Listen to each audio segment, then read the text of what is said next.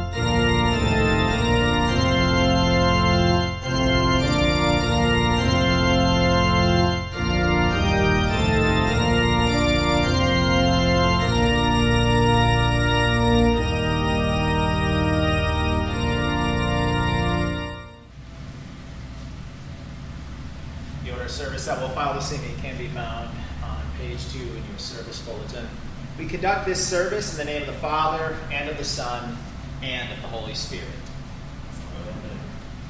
Praise the Lord from the heavens. Praise him in the heights above. Praise him, all his angels. Praise him, all his heavenly hosts. How majestic is the Lord's name in all the earth. He has set his glory above the heavens. For the Lord is the most high over all the earth. God has ascended amid shouts of joy, the Lord amid the sounding of trumpets. God reigns over the nations. God is seated on his holy throne. The Lord reigns. Let the nations tremble. He sits enthroned between the cherubim and the earth. The throne of our God will last forever and ever.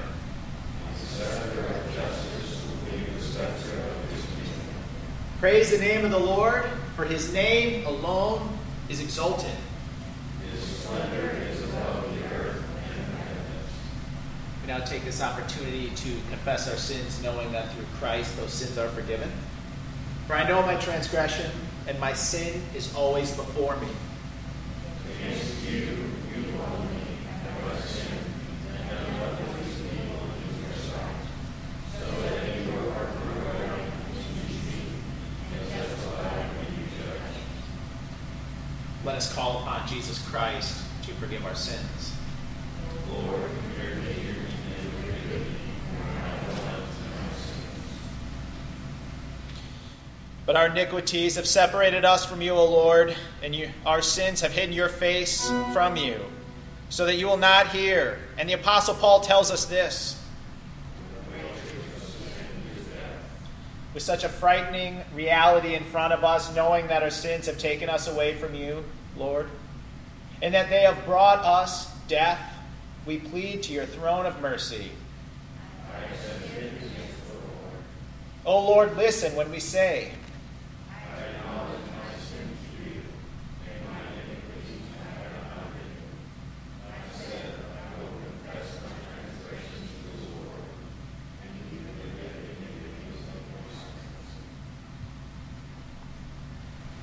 The Lord hears forgives. As far as the east is from the west, so I will put away your sins, says the Lord.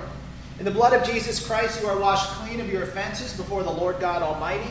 Listen then and take comfort when Jesus says, Son, be of good cheer, your sins are forgiven you.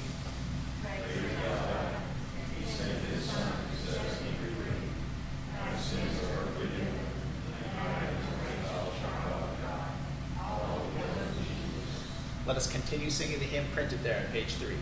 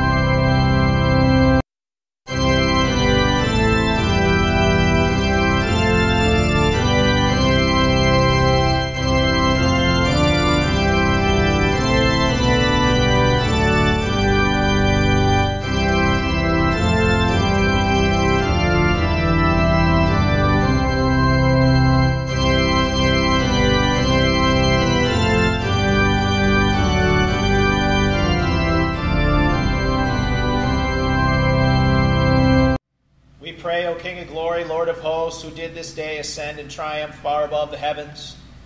We implore of you not to leave us comfortless, but to send your Spirit of truth promised by the Father. We ask this knowing that you will grant the promises you make. In the name of the Father, and of the Son, and of the Holy Spirit. Amen. Our first scripture lesson this evening, we are considering the ascension. This is the Sunday after ascension. Ascension was Thursday. Thursday marks the 40 days after Christ's resurrection. Our first lesson takes a look at Exodus chapter 14, verses 21 through 31. If the ten plagues weren't striking enough, the Lord delivered the children of Israel once again from Pharaoh in a most remarkable way. In parting the Red Sea waters and providing a dry path for the children of Israel, and having the waters recede on the Egyptians, the Lord made it clear. He is the deliverer. And so the Lord is the one that delivers us from our sins. Then Moses stretched out his hand over the sea, and the Lord drove the sea back by a strong east wind all night, and made the sea dry land, and the waters were divided. And the people of Israel went into the midst of the sea on dry ground, the waters being a wall to them on their right hand and on their left. The Egyptians pursued and went in after them in the midst of the sea, all Pharaoh's horses, his chariots, and his horsemen. And in the morning watch, the Lord, in the pillar of fire and of a cloud, looked down on the Egyptian forces and threw the Egyptian forces into a panic, clogging their chariot wheels so that they drove heavily. And the Egyptians said, Let us flee from before Israel, for the Lord fights for them against the Egyptians. Then the Lord said to Moses, Stretch out your hand over the sea, that the water may come back upon the Egyptians, upon their chariots, upon their horsemen. So Moses stretched out his hand over the sea, and the sea returned to its normal course when the morning appeared. And the Egyptians fled into, into it. The Lord threw the Egyptians into the midst of the sea. The waters returned and covered the chariots and the horsemen. Of all the hosts of Pharaoh that had followed them into the sea, not one of them remained. But the people of Israel walked on dry ground through the sea, the waters being a wall to them on their right hand and on their left. Thus the Lord saved Israel that day from the hand of the Egyptians, and Israel saw the Egyptians dead on the seashore. Israel saw the great power that the Lord used against the Egyptians. So the people feared the Lord, and they believed in the Lord and in his servant Moses. Here ends our first scripture reading. Our second scripture reading is taken from the book of Revelation, chapter 19, verses 11 through 16. Christ returns, and it will not be a battle, but more of a crowning of a conquering king. This king will return as a judge to those who have rejected him. They will get their wish an eternity outside of God. But to those that love him and cling to him, they will receive the eternity of life everlasting with him. Then I saw heaven open, and behold, a white horse. The one sitting on it is called Faithful and True. And in righteousness he judges and makes war. His eyes are like the flame of fire, and his head are many diadems. And he has a name written that no one knows but himself. He is clothed in a robe dipped in blood, and the name by which he is called is the Word of God. And the army of heaven, arrayed in fine linen, white and pure, were following on, following him on white horses. From his mouth comes a sharp sword with which to strike down the nations, and he will rule them with a rod of iron. He will treat the winepress of the fury of the wrath of God Almighty. On his robe and on his thigh, he has a name written King of Kings and Lord of Lords. Here ends our scripture lesson. At this point, we can make a confession of our faith found in the words of the Apostles' Creed, which you can find printed on page 5 in your service bulletin.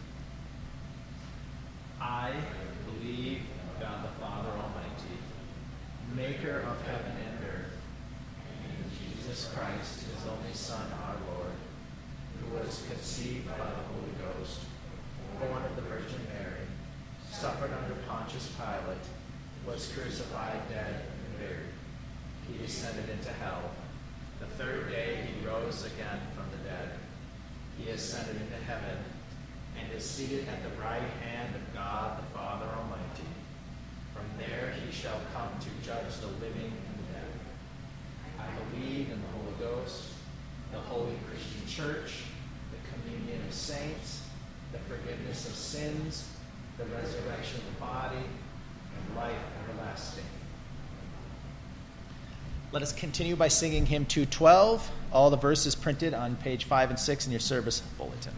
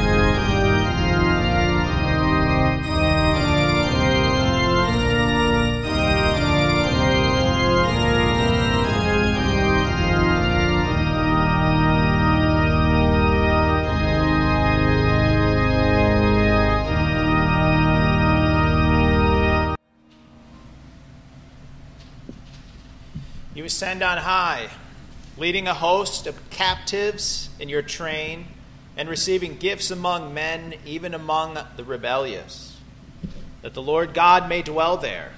Blessed be the Lord who daily bears us up. God is our salvation. Our God is a God of salvation. And to God, the Lord, belong deliverance from death. These words taken from Psalm 68, verses 18 through 19. Dear fellow redeemed, I have absolutely no doubt that you in your lifetime, by the grace of God, have heard many sermons preached about the birth of Jesus Christ. Christmas Eve, Christmas Day provide wonderful vehicles for that very discussion. They, they take our attention to this most amazing event in history where you have the communication of attributes that the eternal, infinite Son of God becomes a human being. Jesus leaves his throne in heaven.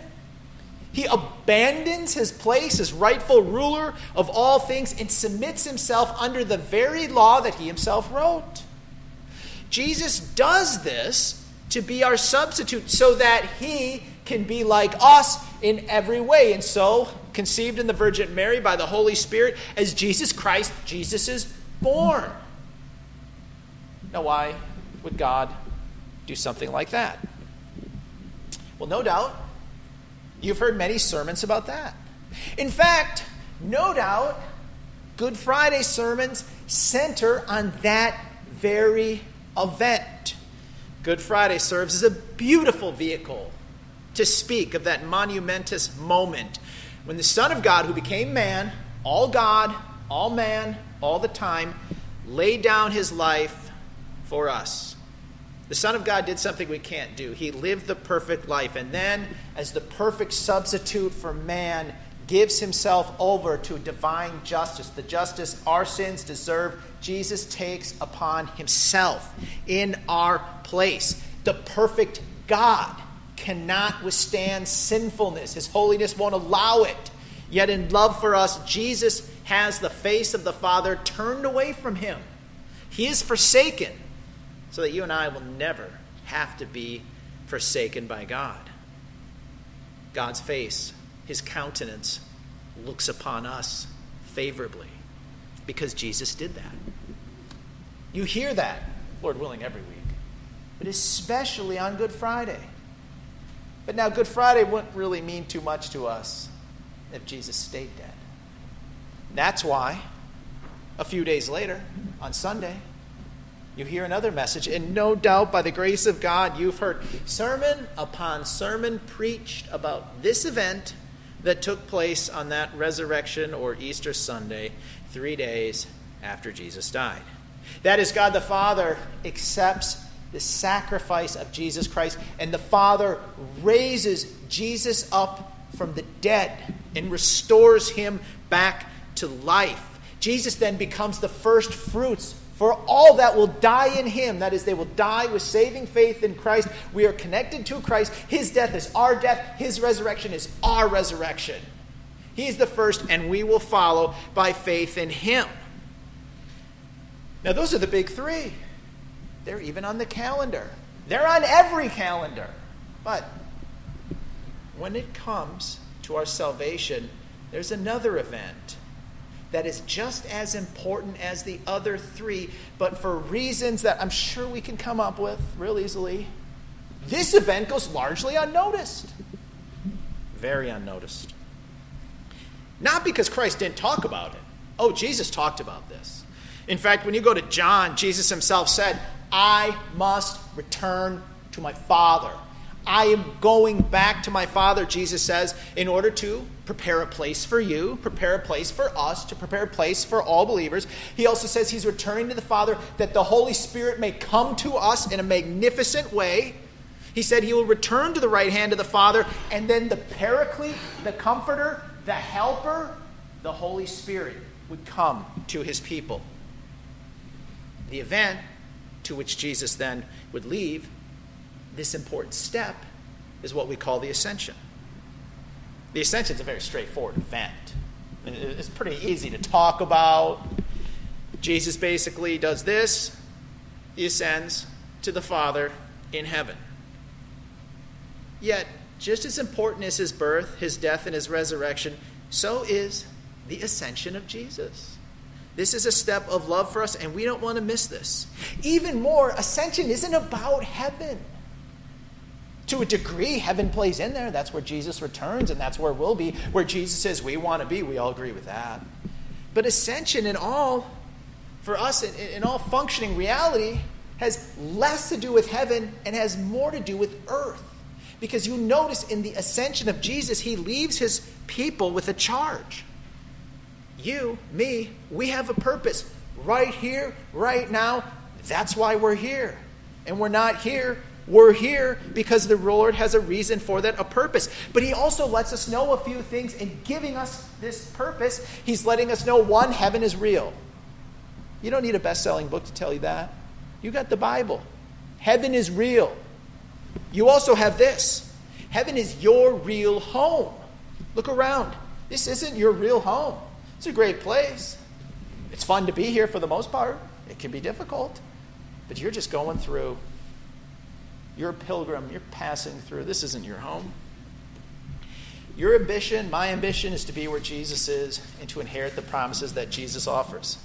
And so Jesus ascends. He takes his visible form away from our eyes. And so, for this very short time, and this is a short time, we won't see Jesus physically, but we know he will return. And we know his presence is around us. And then we have that purpose the blessed opportunity to share the good news of Christ, the Savior of all people. So we can say, our hope is in heaven, our work is on earth. Jesus' ascension fills us with faith and power to rest our hope in heaven and to carry us through with our work here on earth. With that in mind, let's consider Luke 24. We're just going to look at three verses verse 50, 51, and 52 He's Jesus.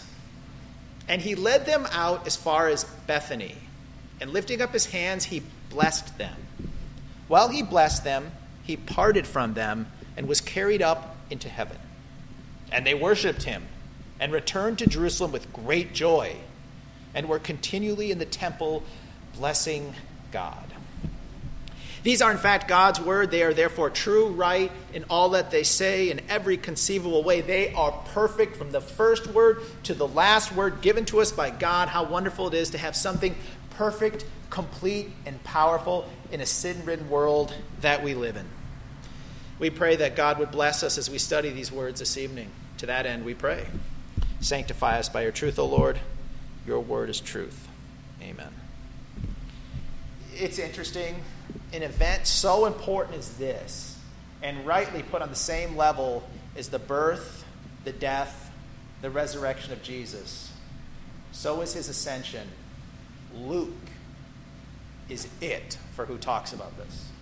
Now, I know you might try to argue me with me a little bit and say, well, Pastor, come on now. In the last chapter of Matthew 28, you have the Great Commission, go therefore, make disciples of all nations. Yes, that is true. Those are the words that Jesus speaks at his ascension, but Matthew doesn't talk about the ascension. He leaves you with that. Mark doesn't talk about it. John doesn't talk about it. But Luke does. Luke talks about it in the Gospel of Luke, right here, last verses of the Gospel.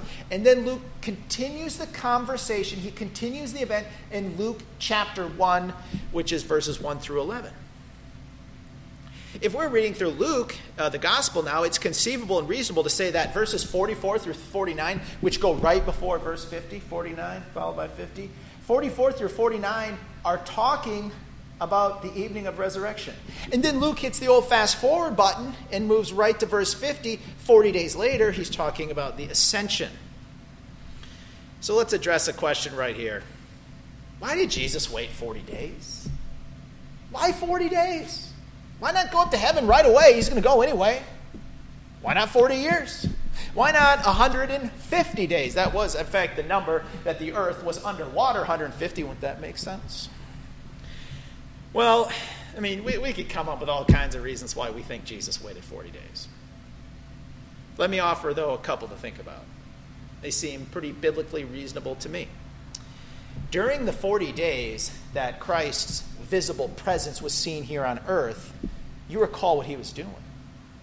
In fact, we have recorded for us throughout the Gospels 12 instances of Jesus physically appearing to his disciples. And they range from Jesus speaking to just one person to Jesus speaking to as many as 500 people in one time. In fact, when Jesus during the 40 days appeared, he gave Thomas one of the most blessed opportunities. Thomas on Easter evening is saying, I don't believe the women, and I don't believe you. I don't think he's risen from the dead. And a week later, as you know, Jesus stands in his presence and says, Thomas, here I am. Put your fingers in my hole on the side of my hands. Believe. And then, that's not enough, and that's amazing. That's not enough. You have Jesus delivering breakfast to the disciples in John 21. But even more than that, you have Jesus moves a little further with just Peter. Peter who denied him, Peter who disowned him, Peter who looks broken, and Jesus restores Peter back. Jesus says, and he gives him three times to confess his love to him. And Peter does. And then Jesus gives Peter this incredible charge feed my sheep. Oh, yes. I think we could say with confidence Jesus remained for 40 days to prepare his disciples for when he would physically leave them and for the work that he's giving them. Also, recall what he said in John 16 7. Jesus said, Nevertheless, I tell you the truth, it is to your advantage that I go away. For if I do not go away, the Helper will not come to you. But if I go, I will send him to you. Jesus' departure means that he is going to remove his physical presence and he's going to send the Holy Spirit to his followers in a supernatural, wonderful way. And so we did let's address another question since we're addressing questions. Why did Jesus have to go anyway? There's somebody at some time and at some point, and maybe you've thought this yourself or even asked it, who says, Wouldn't it be better if Jesus was physically here right now? Wouldn't you feel better if you were in the hospital and Jesus could physically walk in there and talk to you? If you knew you could pick up the phone and call Jesus, and boom, there's Jesus. So, why remove his physical presence? Why not remain here so we can see him face to face? Well, can I offer this for a thought process? If a person wants to question the ascension of Jesus, why stop there? I mean, if you're going to question God, go all the way. Just Go all the way. I invite you to go all the way. Question God about the time of which Jesus was born. Wouldn't today be better? Just think if Jesus was around today, uh, physically, that is, during his time of humiliation, he could have a Snapchat and an Instagram and a Facebook. Would that be better for him communicating his message? Or Jesus could be on TV? And I mean, we're going to question God's actions. I mean, seriously? Create the world in six days? Why not have a videotape of it so we can watch it? If we're going to be in the business of questioning God, let's go all the way. But if we know this, that all that God does is perfect, right, and good, that what God does is complete in and of itself and always works for the best of all people according to his will, then if Jesus is going to remove himself, his physical presence, he's still here filling all things, but if he's going to remove his physical presence after 40 days, then that is the exact right best thing that could happen. Because that's what God chose to do. Martin Luther, when, when talking about this whole fascinating conversation about the humiliation and the exaltation of Jesus, Martin Luther would say, We have historical facts all over the place. He's born, he's, he dies, he comes back from the dead, he ascends to heaven. These are historical facts. But he would say, We're not just listening to history, we're listening to a gift. This is a gift. This is the gift of God giving himself to us. In doing this, as the psalmist prophesied there in Psalm 68, we read at the beginning, he, Jesus, takes captivity captive. You and I were held captive by sin. We were under captivity. But our captors, sin, death, the devil, Jesus has taken them captive. And now we're free. Free and brought into the presence of God. No longer chained, no longer bound by this gift the gift of God's Son, who's lived, died, rose, and ascended for us. So in Jesus' ascension, he gives power to his people. He gives power to you and me as his children. Now, power is an amazing conversation. It can go so many different ways. But about a year ago, I was watching a TV series on Netflix, Toys That Made Us. It's fun. It talks about toys from the 60s through, I don't know, the 90s, maybe beyond. And the whole idea is these toys influenced certain generations of people from Star Wars to Star Trek to Barbie to G.I. Joe. And then they got to the one that really hit me as a kid He Man. And there I learned that the writers of He Man were sitting around and they're working for Mattel and they wanted to come up with a toy that could get the little boys away from uh, Star Trek and, or Star Wars and get them interested in this. So they take this muscle bound barbarian and they say, What do little boys want? And, and some guy said, Power. He's, he's right about that. He said they want power. So let's invent a character that has the power. As a little boy, you dream about having the power to stay up late, to go outside. And if you have an older brother, you dream of having the power to beat him up. and so He Man is born. He Man has the power.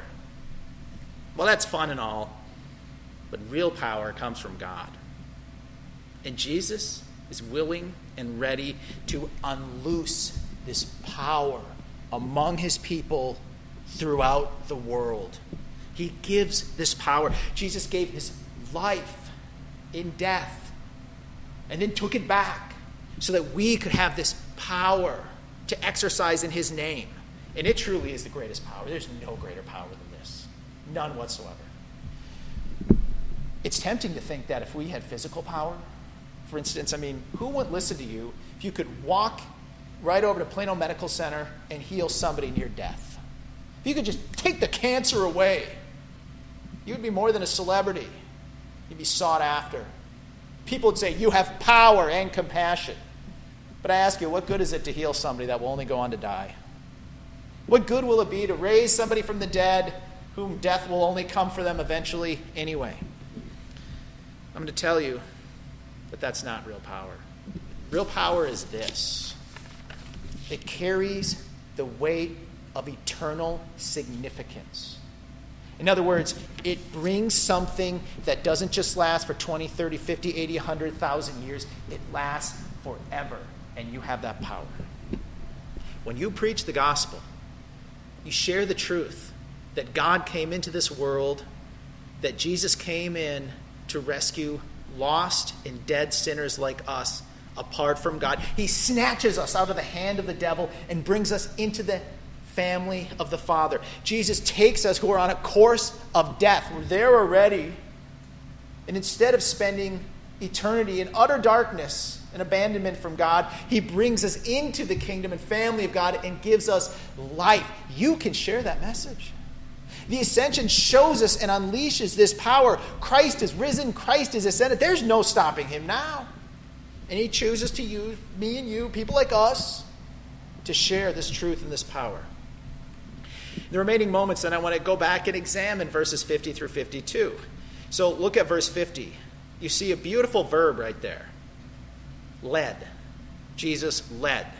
Jesus takes them to Bethany. Bethany's familiar. For over three years, they've been going here. Jesus led them like a shepherd leading his flock to a familiar and safe place. Jesus leads them out because he's going to ascend back to where he was before he faced the cross. Then you notice another striking verb lifting. He leads them and then he lifts up his hands. Now, if you grew up in a Jewish synagogue, every Jewish boy and girl at this time would know exactly what this meant. The priest would lift his hands to bless. A blessing is a greater giving to a lesser. God is the greatest and he gives to us, and we need that blessing. And so Jesus gives his blessing. He gives his blessing to those that forsook him. He gives his blessing to those that ran away from him. You notice Jesus doesn't use this as an opportunity to scold them and say, okay, I'm removing my physical presence now. Are you guys going to abandon me again? Jesus doesn't say, I'm, I'm just going to go pick a new and better team. You, you guys, you blew it. No, no, no. He calls them, he equips them, he blesses them. And then you get another word that's fascinating. After Jesus blesses them, the next verb you see is he parts from them. I think this is the ESV 2012. It's translated parted. That's a good word. Because Jesus doesn't depart from us as if he's gone. Jesus is here, but his physical presence does part from them, and it is apart from us. Yet Jesus is with them. He goes to heaven to fill all things. Now you might say, okay, well, where is heaven? I, I can answer that right now. It's where Jesus is. You ask me, where is Jesus? He's in heaven. There you go. Seems today people don't want to believe the tough stuff. They want to run away from that. Let the Bible talk to you. The Bible speaks the truths of God. I mean, we wouldn't know, what would we know about God without the Bible? We know He must be powerful and great. Look at creation. We really wouldn't know anything. Throughout the Bible, God reveals Himself to us. So, the biblical truths of the ascension, let me just rapid fire speed now. I'm going to go through a few. First, the ascension shows us, it signifies Jesus' completion of his work of redemption is fully accepted by God the Father. Take confidence, you are saved. Second, Jesus enters the presence of the Father on our behalf. Remember, he is the high priest that pleads for us at the side of the Father. We have an advocate, it is Christ. We need an advocate. Third, it displays God's mighty power. Paul says to the church in Ephesus, now that Jesus has ascended, he fills and rules all things. Fourth, the ascension marks his return back to the Father. When Christ became incarnate, when we have the communication of the attributes of the Son of God into man, you have something that's never happened before where the Son becomes man. Now, as God and man, he returns back to the Father. Fifth, it's the inauguration of the giving of the Holy Spirit. True, you have to have the Holy Spirit in order to believe. You can't believe without him. Now you have this special outpouring that's about to happen in 10 days. So, Jesus, currently presiding king over all things, holds all things together, ruling in the interest of his people, and finally, finally, the ascension of Jesus shows us that he continues to sympathize with us in our struggles and in our weaknesses. He understands us, he knows us, and he saves us. The penman of Hebrews said, For we do not have a high priest who is unable to empathize with our weaknesses, but we have one who has been tempted in every way, just as we are, yet he did not sin. That's our advocate. That's our Savior, ruling on high for us. In Jesus' name we pray, Amen. May the peace of God, which passes all understanding, keep our hearts and minds centered in the one true faith unto life everlasting. Amen. Now we've reached a portion of our worship service of which we can offer prayers to our Father in heaven. First, a responsive prayer together, and then we'll continue with prayer. Blessed Jesus, you ascended to the right hand of your Father's majesty, power, and glory, and now reign as eternal King of kings and Lord of lords.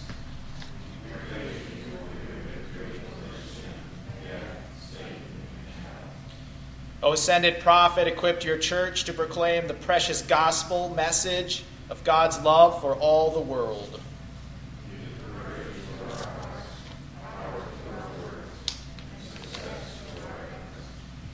O ascended high priest, represent us before the Father as his own dear children and heirs. Defend us against Satan's every accusation. Ask for the Father's rich blessing in our everyday lives.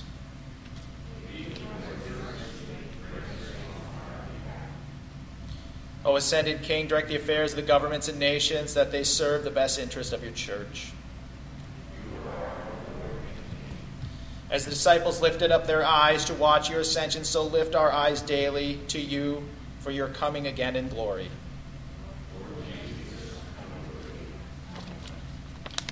We pray, we pray, Lord, that you may grant all things in Christ, so that we are sustained and strengthened through trial, that in our weaknesses we are delivered from trouble. Lord, we pray that your church would flourish, that the good news of Christ, who is crucified, risen, and ascended, would be proclaimed throughout the world to all people, that they may hear and that they may turn away from their sins, repent, and cling to you as the Savior. Father, we pray for the nations of the earth that they may seek peace, that the leaders of our country may pursue justice, righteousness, and peace. We pray that this pandemic may come to a soon end, and that the livelihood and common life of many may resume. Father in heaven, we also pray for all those that are sick, that are struggling against an illness. We ask that you be with them, that you would comfort them and give them the strength to bear up under this illness. And we pray that be your will that would come to an end and you'd restore them to health.